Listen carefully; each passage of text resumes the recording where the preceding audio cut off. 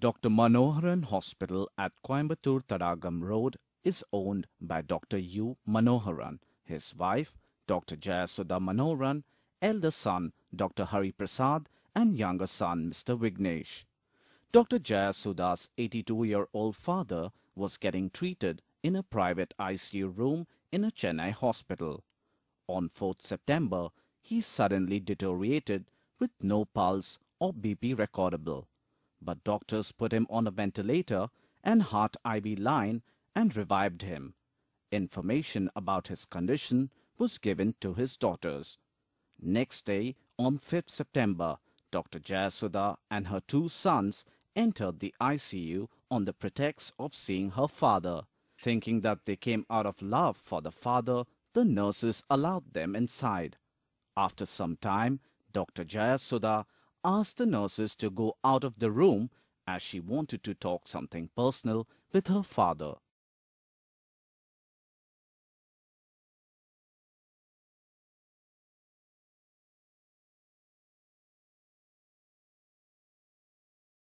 As soon as they went out, her son, Dr. Hari Prasad, took some blank documents from under his shirt.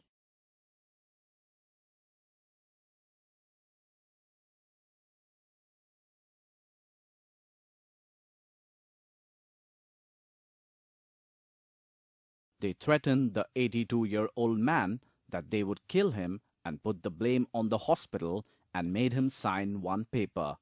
But when he refused to sign further, they took out an ink pad, caught his thumb and forced his thumb impression on all the documents. The young man did not care that it was his own grandfather and took part in the act.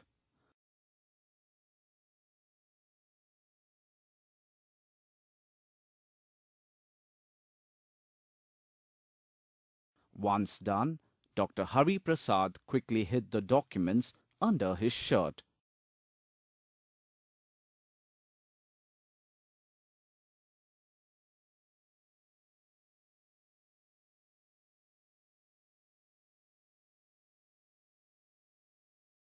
Then Dr. Jayasudha pulled out some spirit and cotton from under her blouse and both doctors wiped the ink mark from his thumb.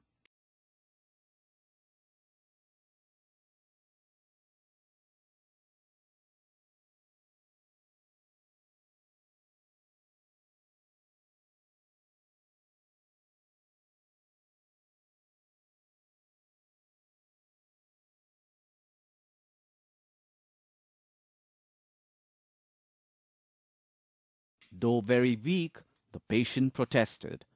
In order to shut him up, Dr. Jayasudha bent under his cot and unscrewed his heart IV line. This caused her father to bleed out on the ICU floor while she sat in a chair and watched him bleed to death. The ICU nurse saw some documents through the glass door and rushed in with the duty doctor and the hospital AO. Dr. Hari Prasad tried to remove the patient's file from the ICU, but the DMO caught it. But in the confusion, Dr. Hari Prasad slowly slipped out of the ICU without anyone noticing. In this clip, you can see him going out of the hospital alone.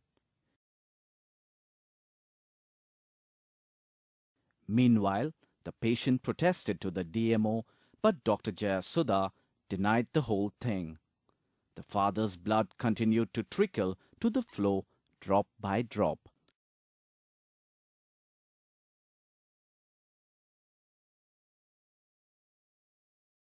When told that the police will be called, Dr. Jayasudha got up to leave.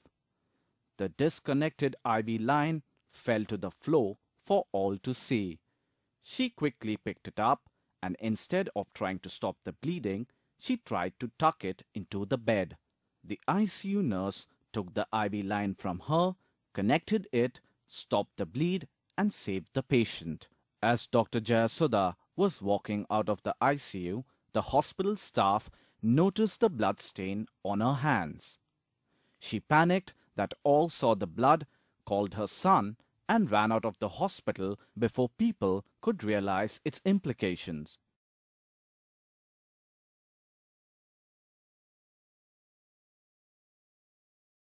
The ICU nurse noticed the blood under the cot and asked the maid to clean it. Even then, no one understood what was going on.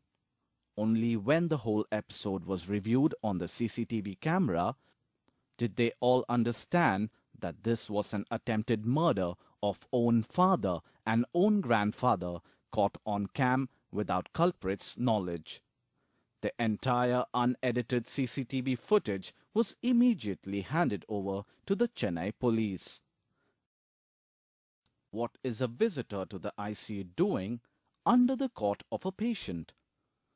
How can a screw type heart IV line unscrew itself and how is blood seen on the floor? How many visitors who enter an ICU go out with blood on their hands?